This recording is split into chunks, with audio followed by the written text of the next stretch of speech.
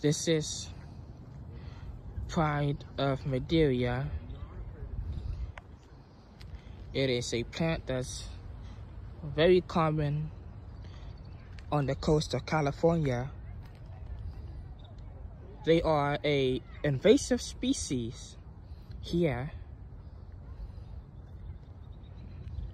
But they do support some, they do support pollinators like bees, butterflies, and hummingbirds.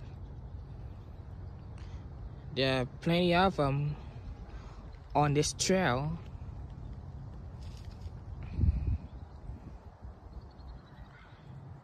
They are they are a pretty plant though. The flowers come in many different colors.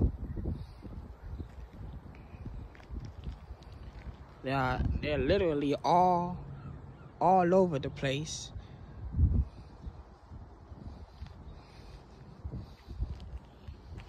This is what the, the leaves of the plants look like.